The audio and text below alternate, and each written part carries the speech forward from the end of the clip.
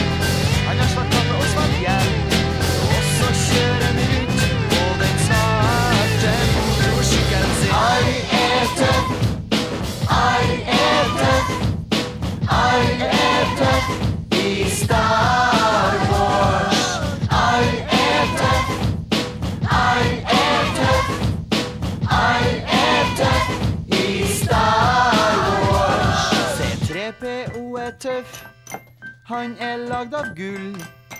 Og så har han strøm inni magen. Prinsesse Leia er også tøff. Hun ble fanga av Darth Vader. Nei, ikke Darth Vader, han tjukkasen som spiser slanger. Han er tøff.